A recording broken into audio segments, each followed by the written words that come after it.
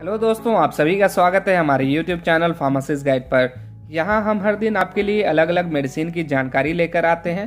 तो आज हम जिन दो मेडिसिन की जानकारी लेकर आए हैं, वो है ये वाइसोलोन 20 और ये है ओमनाकोटिल 20 इन दोनों में सेम सॉल्ट मिला हुआ है, वो है प्रेडनीसोलोन 20 एम की मात्रा में। ये दोनों अलग अलग ब्रांड्स की मेडिसिन है, लेकिन दोनों के यूजेस सेम होते हैं। मार्केट में और भी कई तरह की मेडिसिन उपलब्ध है, इस प्रेडनीसोलोन सॉल्ट के साथ। लेकिन सबसे ज़्यादा प्रिस्क्राइब की जाने वाली यही दो मेडिसिन हैं। तो आज हम इन दोनों मेडिसिन के बारे में डिटेल्स में जानेंगे, इनको कब लेना चाहिए किन किन बीमारियों में इसका इस्तेमाल किया जाता है, इनके साइड इफ़ेक्ट के बारे में बात करेंगे और इसका इस्तेमाल कैसे करना है वो जानेंगे। शुरू करने से पहले आप सभी से एक छोटी सी रिक्वेस्ट है, अगर आपको हमारे द्वारा दी गई जानकारी पसंद आए तो इस वीडियो को लाइक ज़रूर कीजिएगा, ज़्यादा से ज़्यादा इस वीडियो को अपने जानने वालों के साथ शेयर कीजिएगा, और साथ ही हमारे चैनल को भी सब्सक्राइब कर लीजिएगा। ताकि आने वाली हमारी वीडियो की नोटिफिकेशन आपको मिलती रहे। दोस्तों, ये प्रेडनीसोलोन एक एस्ट्रॉयड होता है, जो कई तरह की बीमारी को ठीक करने में काम आता है।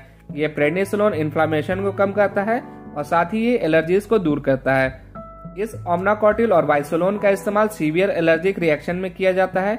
एलर्जीज कंडीशन जैसे कि आर्थराइटिस में ल्यूपस में, जिसमें इम्यून सिस्टम खुद के टिश्यू पर अटैक करता है जिससे हमारी kidney, blood vessel, brains heart lungs और स्किन पर बैड इफ़ेक्ट पड़ते हैं।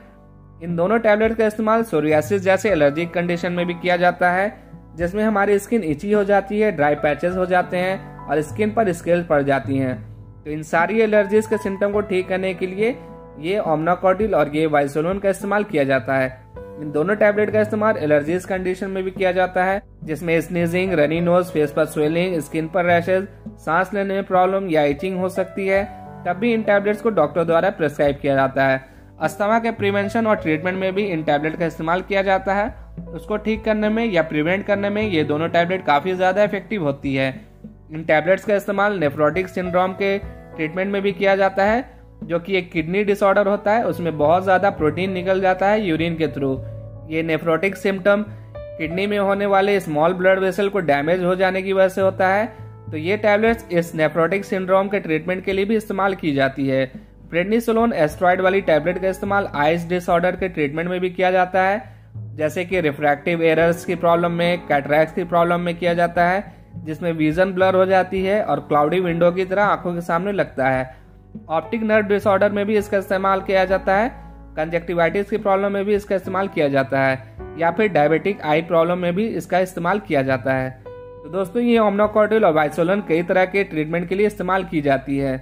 और एक ज़रूरी बात दोस्तों, मैं जो भी जानकारी आपको दे रहा हूँ, ये आपके नॉलेज के लिए है सिर्फ़। आपको कभी भी इन टैबलेट का इस्तेमाल खुद से नहीं करना है, हमेशा अपने डॉक्टर के एडवाइस के बाद ही इसका इस्तेमाल करना है।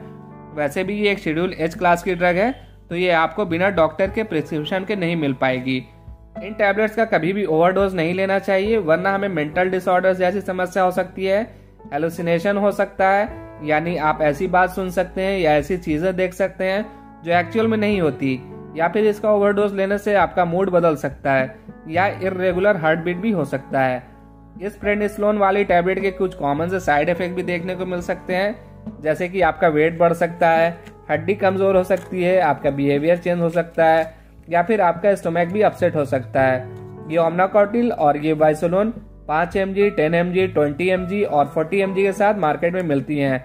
इन टैबलेट का डोज हर व्यक्ति के कंडीशन और सिवियरिटी के अकॉर्डिंगली वेरी कर सकता है।